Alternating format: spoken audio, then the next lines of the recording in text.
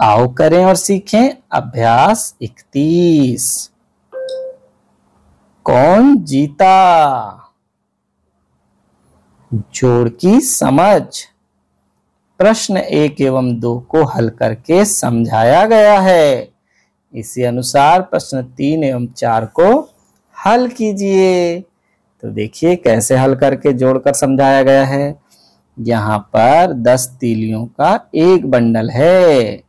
तो दस हुआ, एक दहाई के दस और दो खुली तीली हैं तो दो। दोनों को जब मिला देंगे तो कितना प्राप्त हो जाएगा?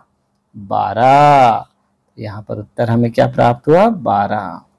इसी प्रकार दस तीलियों के दो बंडल और चार खुली तीली मिलकर हो गए चौबीस। फिर दस तीलियों के दो बंडल और छह खुली तीली मिलकर हो गए छब्बीस। दोनों को जोड़ देंगे तो ये चार खुली तीली और छह खुली तीली मिलकर एक बंडल बना लेंगे। तो कुल बंडल कितने हो जाएँगे? एक, दो, तीन, चार और इन दोनों का एक। तो दस दस के पाँच बंडल, यानी पचास हो जाएगा। जोड़ने पर भी हमें कितना प्राप्त होगा? पचास प्राप्त होगा। इसी प्रकार बच्चों, अब यहाँ देखिए, दस के कितने बंडल हैं? दो तीन, एक, दो, तीन। और कितनी खुली तीलियाँ हैं? पाँच। तो तीन बंडल तीन दहाई और पाँच इकाई।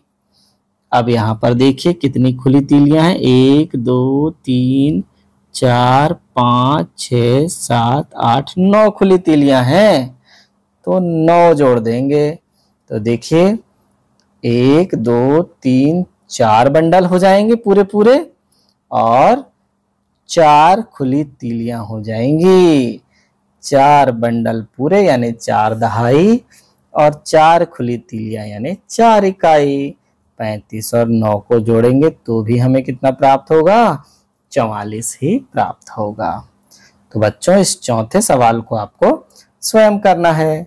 धन्यवाद।